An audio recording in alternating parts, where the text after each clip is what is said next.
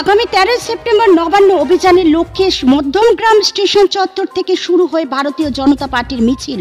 মধ্যমগ্রাম থানা অবধি গিয়ে শেষ হয়। এই মিছিলের মূল স্লোগান ছিল চোর ধরো, জেল ভরো। সমগ্র মিছিলে উপস্থিত ছিলেন রাজ্যের বিজেপির মুখপাত্র শ্রমিক ভট্টাচার্য, বিধায়ক বঙ্কিম ঘোষ, জেলা সভাপতি তাপস মিত্র সহ অন্যান্য কর্মী বৃন্দেরা। এই মিছিলের নেতৃত্বরা কি বললেন? আসুন শুনে নিই।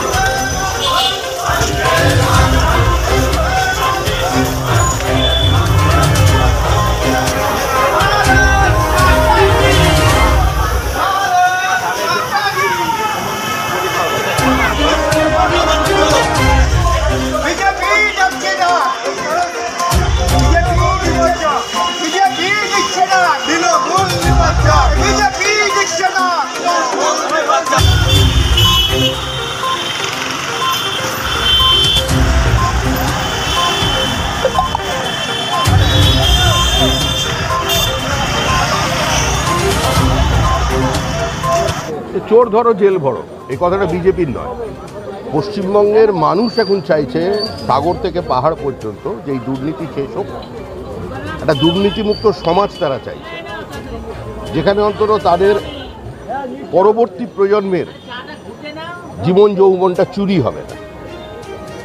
আজকেও একটা জায়গায় পনেরো কোটি টাকার বেশি উদ্ধার হয়েছে। উদ্ধার হয়েছে খাটের তলা থেকে। যার বাড়ি থেকে উদ্ধার হয়েছে সে বেশ কিছু প্রভাবশালীর বেনামে কেনা ট্যাঙ্কার এবং ট্রাক পোর্ট এরিয়া সিন্ডিকেটের মধ্যে দিয়ে চালায়।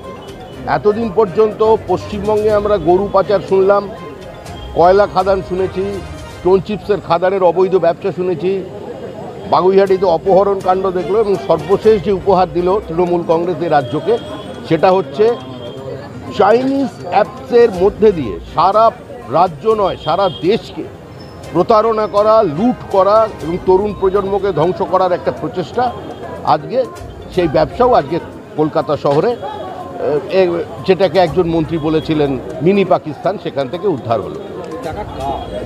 এই টাকা কার খাটের নিচে টাকা পাওয়া গেছে?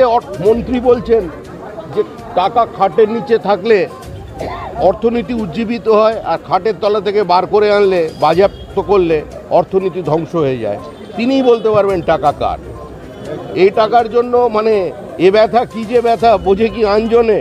যার ব্যথা লেগেছে তারাই বলতে পারবে। আপনারা তো বারবার বলেছেন আরও অনেকের কাছে টাকা আছে নাম দেবেন আপনারা কতদিন আগে সুকান্ত মজুমদার বলে গেলেন যে আপনাদের কাছে তালিকা আছে। আমাদের কাছে তালিকা নয় তৃণমূল আমাদের তালিকা দিচ্ছে সাধারণ মানুষ তালিকা দিচ্ছে কত জায়গায় যাবে? আমরা কি তদন্ত করাচ্ছি? তদন্ত করাচ্ছে কোর্ট। কোর্টের নজরদারিতে তদন্ত হচ্ছে। এখানে দাঁড়িয়ে জিজ্ঞাসা করুন না এখানেও বলে দেবে যে কার সম্পত্তির কীভাবে বৃদ্ধি হয়েছে এই পাড়ায়। মানুষ তাদের চেনে। তারা আইডেন্টিফাইড কিন্তু প্রশ্ন হলো তাহলে সিবিআই এর দপ্তরটা ইডির সদর দপ্তরটাই কলকাতায় তুলে আনতে হবে। আরও অন্তত কয়েক হাজার সিবিআই ইডির অফিসারের প্রয়োজন আছে সারা পশ্চিমবঙ্গ জুড়ে। কারণ গোটা পশ্চিমবঙ্গে গত এগারো বছর যাবৎ যে সরকারটা চলেছে, সেই সরকারটা কার্যত একটা দোকানদারি করে ফেলেছে। এটা রাজনৈতিক দল নয়। একটা সংগঠিত লুটকে পশ্চিমবঙ্গে প্রতিষ্ঠা করা হয়েছে। অর্গানাইজড ক্রাইম এখানে কেউ বিচ্ছিন্ন নয়। এখানে অনুব্রত পার্থ চ্যাটার্জি, এরা কেউ বিচ্ছিন্ন নয়।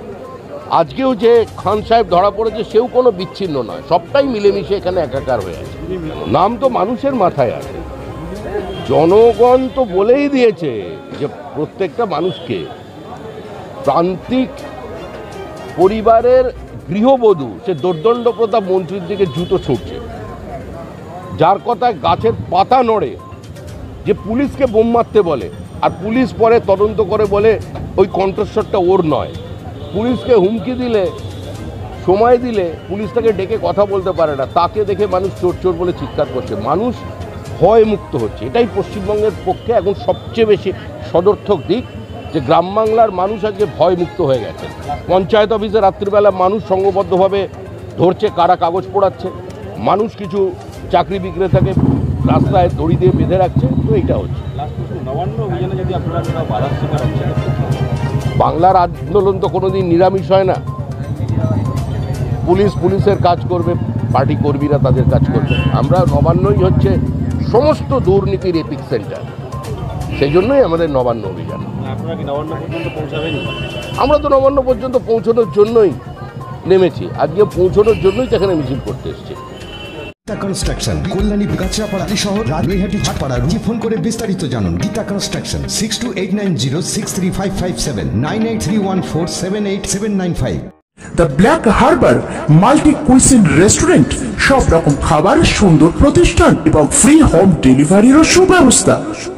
The black harbour two two five oblique one R BC road Naihati.